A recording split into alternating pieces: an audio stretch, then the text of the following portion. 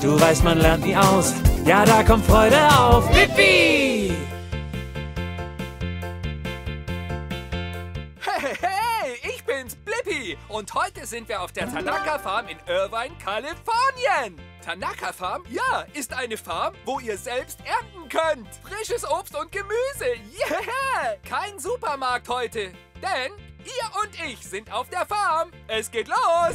Hohoho, seht mal da. Dort drüben steht ein Traktor mit zwei Wagen. Los, kommt! Hoho, hier auf der Tanaka Farm fahrt ihr sogar Traktor auf der Tanaka Farm Traktortour. Haha, ich bin so aufgeregt. Wow, hey, seht mal. Hi, Hey, wer bist Ich du? bin Farmer Kenny. Oh, Farmer Kenny, schön, dass du hier bist. Ich bin Blippi. Was machst du hier? Oh, ein bisschen von allem. Ich fahre den Traktor und nehme dich mit auf Tour. Wow, wir dürfen mit auf Tour? Klar, hüpf drauf. Okay, dann los.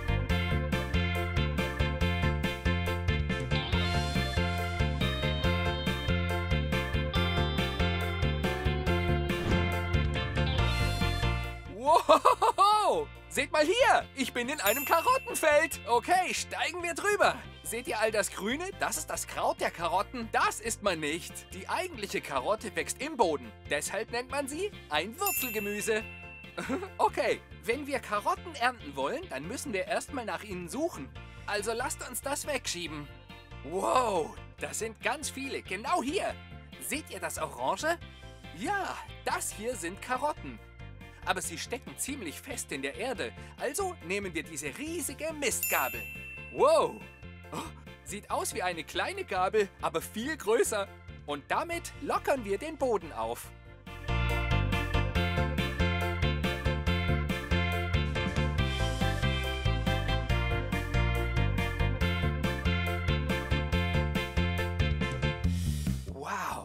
Jetzt müssen wir uns eine Karotte aussuchen.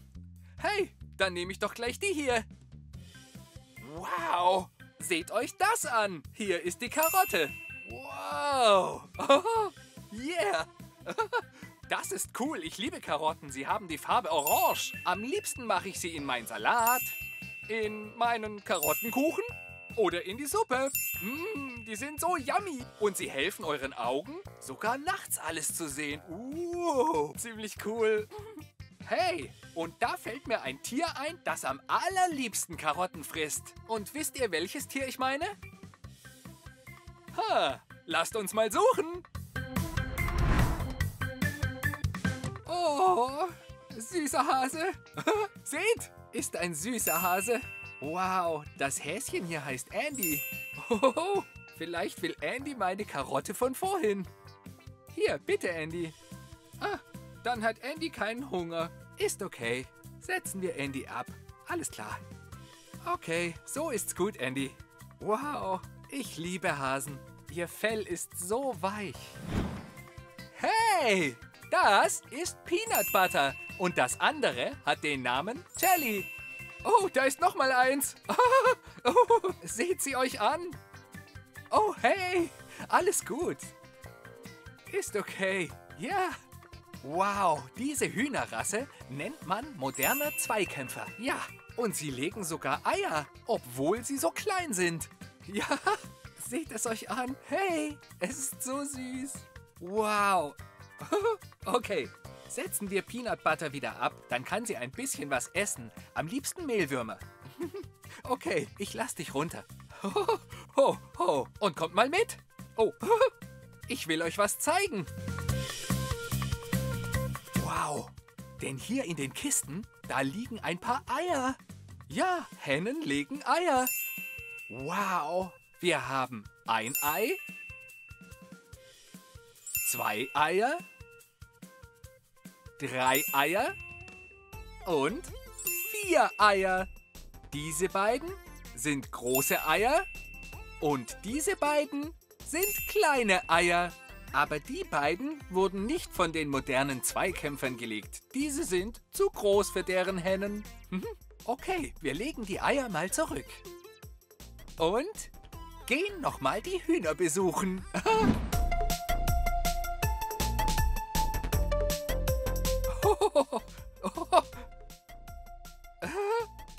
Hühner mögen ihren Snack.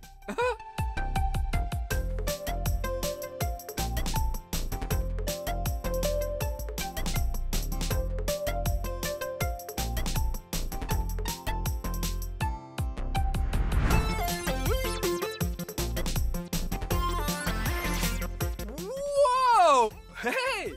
Wow! Seht ihr das? Das sind Karotten. Yeah! Sie haben die Farbe Orange. Ich liebe die Farbe Orange. Sie ist einer meiner beiden Lieblingsfarben. oh, und das sind Zwiebeln. Wow, das ist eine große Zwiebel. und seht mal diese. Das sind auch schöne Zwiebeln. Aber man nennt sie Lauchzwiebeln. Es sind beides Zwiebeln, aber sie sehen so verschieden aus. wow, das ist Romana. Ich liebe Romana. Er ist so gesund. Ich mache daraus meinen Salat. Wow, und das ist Beete. Wow, das ist gelbe Beete und das ist rote Beete. uh, seht, was ist das? Die sind hübsch. Das sind Radieschen. Seht ihr die Farbe? Wie eine Art pinkes Rot. Yeah, ich liebe diese Farbe. Wow. Hey, und Spinat. Er ist verpackt in einer Box, einer durchsichtigen Box. Und Spinat ist grün. Es scheint so, als sei das meiste Gemüse grün. Denn seht ihr die Radieschen? Ja, der Teil, den man isst, hat die pink-rote Farbe. Aber das hier oben, das betreibt Photosynthese und nährt die Radieschen. Und das hat die Farbe grün. Aber das isst man nicht mit. Mhm. Wow, Grünkohl. Ihr solltet mal Grünkohlchips probieren. Ja, wie normale Chips, aber gesünder. Mhm. Wow, sind das Drumsticks?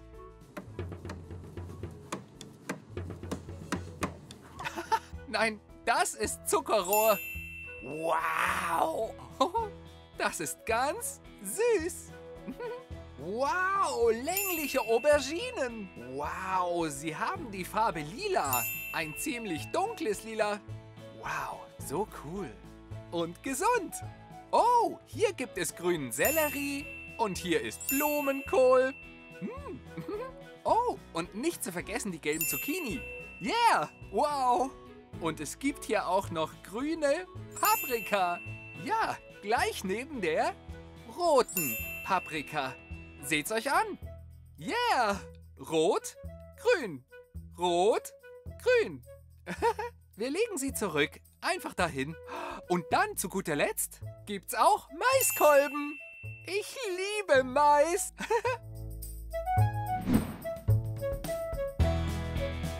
Okay, Blippi, wir sind da. Yeah, ich bin so aufgeregt. Wow, ich frag mich, was hier auf den Feldern wächst. Na gut, mal sehen. Okay, Wir gehen gleich hier rechts ins Feld okay, rein. du meinst hier? Alles klar. Wow, was wächst hier? Das sind Wassermelonen. Wassermelonen, wow. Sieht aus, als gäbe es zwei unterschiedliche Sorten. Ja, diese kleinen runden, das sind gelbe Wassermelonen. Okay. Diese großen länglichen, das sind rote Wassermelonen. Wow, können wir welche pflücken? Ja, mal sehen, welche reif sind. Okay. Wie wäre es mit äh, dieser gelben hier? Genau Okay. da in der Mitte. Diese? Ja, Okay, wie macht man das? einfach Oh, nehmen. hey, sie geht sofort sie ab. schon. Wenn sie reif ist, geht sie gleich ab. Wow, seht sie euch an.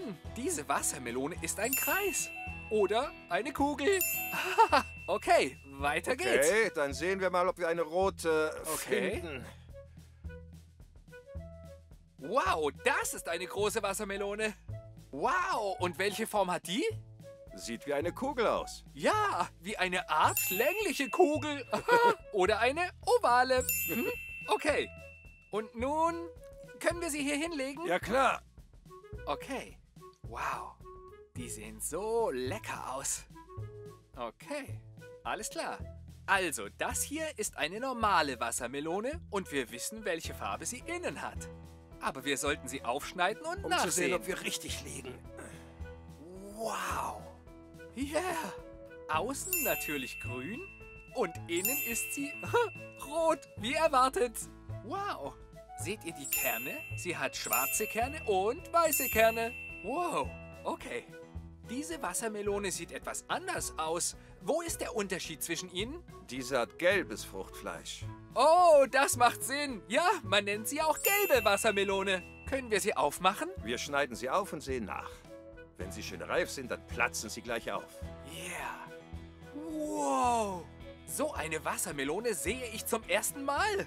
Seht, sie hat die Farbe gelb. Wow. Okay, wir vergleichen mal die beiden. Gelb, rot. Gelb, rot. Beide sind lecker. wow. Ich werde mal kosten. Mm. Mm, ganz süß. Ich liebe den Geschmack von gelben Wassermelonen. mm. Mm. Mm. Hast du eine Lieblingssorte bei Wassermelonen? Ich mag die gelben lieber. Sie schmecken ein bisschen anders, aber sind wirklich gut. Mhm. Ja, das muss man sagen. Sie ist wirklich gut. Mhm. Wollt ihr auch? uh, Erdbeeren. Mm. Mm, mm. Mm. Erdbeeren sind so lecker. Lasst uns noch mal welche abpflücken. Okay, seht ihr meinen Behälter? Ich nenne ihn Klappmuschelbehälter. Yeah! Wisst ihr, was eine Muschel ist? Ja, Muscheln sind Schalentiere und sie sehen so aus.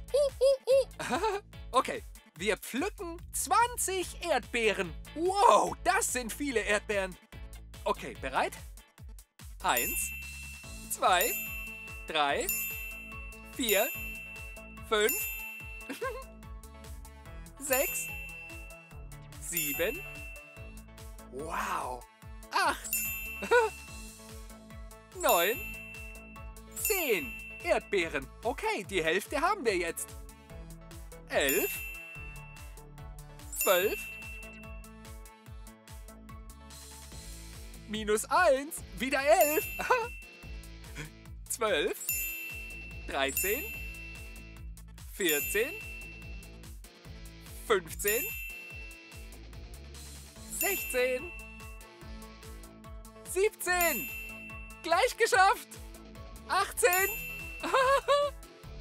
19, eine noch. 20. 20 Erdbeeren in unserem Klappmuschelbehälter. Coole Sache. Wuhu!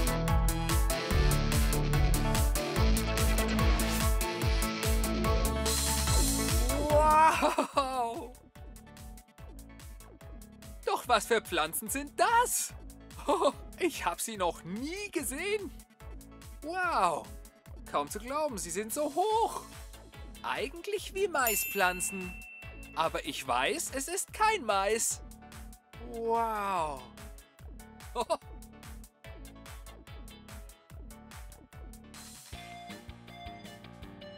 Wow! wow.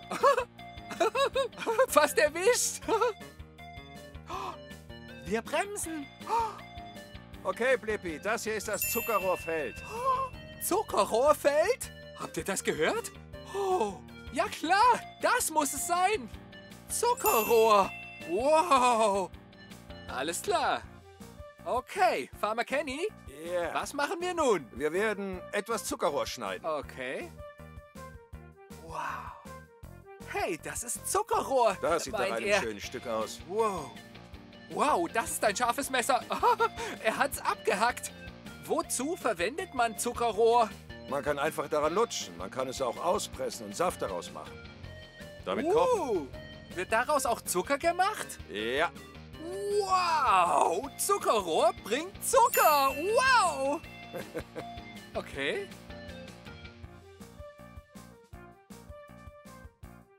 Wow, seht euch das an? Also normalerweise schneidet man einfach die Haut ab und kaut auf dem Inneren herum. Wow. Also darauf kann man jetzt herumkauen? Ja. Okay. Ja. Wow, immer wenn ihr Messer benutzt, seid sehr vorsichtig, richtig, liebe Eltern? Und nur Erwachsene sollten Messer benutzen. Wow, okay.